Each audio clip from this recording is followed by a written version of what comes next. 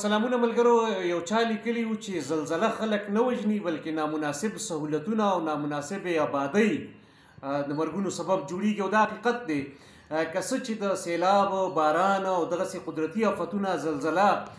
په دغه صورت کې د مرګ امکانات ختمېدی خو نه شي خو ته کافي حد پورې میټیګیټ کېدی شي یا کمېدی شي یا د هغې زیانونه مونږ کمولی شو په هغه صورت کې چې ابادۍ مناسب وي او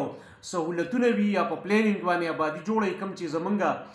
بدمرغي ده په مغرب په مشرق کې او په پسمانده ملکونو کې لکه پاکستان ایران هندوستان او دغه سي افغانستان بیا د افغانستان معاشره او کلیواله سی کلیوالي سیمې چې دین هغه د نوري دنیا په مقابله کې ډېر زیات شا شاته پاتې دي دغه مخصوص حالات د اوس چې کوم راغلي دي کوم چې د سلوي خو کال نه دي نو هلته د خلکو معاشي حالت د دې قابل او جوګه نه دی او نه ګورننس داسې دی چې خلک په بلډنګ کوډز باندې عمل وکړی شي موږ ټول نشو کولی پسمانده خلک ښه ابادي کول مناسب چې هغه رزسټف وي یعنې مزاحمت کولی شي مضبوط وي زیاتره دغه سیلابونه او زلزلې چې کوم دي افتونه که هغه تندر پریوځي دا د غریب په سر باندې ځکه را پریوځي چې هغه ډیر زیات والنریبل وي هغه ډیر زیات کچه یې دغه د هغه کور کچه یې د هغه د ژوند حالات داسې نه وي چې بیا سروایو کړي نو په افغانستان کې چې بیګاه کومه زلزله راغلي ده نو تر دې مهاله په کې څه زر نه زیات کسانو ژوند د لاسه ورکړی دی تر دوه زره چې کوم دي نو هغه کریټیکلي انجرډ دي. واقعی دا حقیقت دی چی او یو بد نصیبی د افغانانو دا هم ده چی پسماندګی دغلته سیاسی او معاشی حالات او بله دا چی بین الاقوامی حالات داسی دی چی اوس په یوکراین باندی د مغرب زیات فوکس دی په داسی وخت کی زمونږ زیاته تمه چی ده نو هغه د مغرب نه یی د هغی د خیریه ادارو نه یی د هغی د حکومتونو نه یی چی مرسته وکی د د خوراک او د د شیلټر په صورت کی یعنی مختلف یعنی څومره چې امدادي کارونه دي د هغې لپاره موږ مغرب ته اړخ ته ګورو او دا وخت یې مغرب چې کوم دی نو زیات فوکس دی د یوکراین په ماجرو باندې نو هر چا ته بیا خپل رنګ او خپل نسل خلک بیا ډیر زیات عزیزي ډیر وته رانږدي او په کار هم دغه سره لومبې مرسته کوي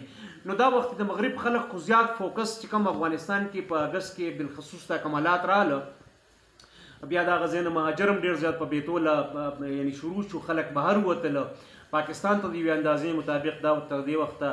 په دې نوي حالاتو کې دوه نیم لکه خلک نور را مهاجر شوی دی نو د دې نه دي نه زیات هغه فوکس چې کوم دی د دنیا د اقوام متحدې او دغسې د خیریه ادارو د حکومتونو هغه اوس یوکراین اړخ ته فوکس شوی دی هغې زیات هلته شفټ شوي دي نو دا بدنصیبي ده خو بیا هم ما فیسبوک کې کتل چې کوم کا فنډ ریزر پیدا کوم انلاین چې هغه ته انلاین پیمنټ کیږي خو تر اوسه خو مې دا هیڅوک پیدا نه کا ځکه چې یعنی فیسبوک کې داسې یو آپشن وي چې بنده کولی شي د خپل وسه پورې لږ ډېر مدد مرسته چې هغه لږ معلوم کی چې واقعي مناسب کس ته رسی نو بیا بنده زړه په کله اوبه وسکي نو په کار ده چې وکړي خو ما وکړه خدا سمې څوک پیدا نه کړ خو که څوک هم چاته دا پیغام رسی او کوم ذریعه جوړیږي د مرستې نو هغه هم او دې نه تر څنګ موږ د دغه خپلو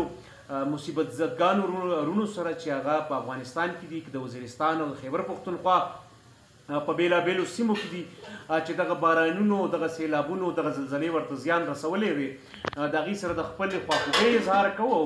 دا مې یقین دی چې په راتلونکي وخت کې که داسې څه امکان جوړ شي چې کم از کم لږ ډېر اویرنس راشي، څه نا څه هغه د خلکو معاشي حالت ښه شي او حکومت دې ته پاملرنه وکړي یا یو سنسټایزیشن په مستقبل کې اوس خاماخا د دې خبرې پکار دی چې دا د زلزلې په صورت کې زمونږ نقصانات زیات نه زیات میټیګیټ شي، ټول نه زیات کم شي او بالخصوص انساني زیان خو بالکل وانه وړي. د ټولو د وخت راکولو او د اورېدو لپاره یو جهان مننه.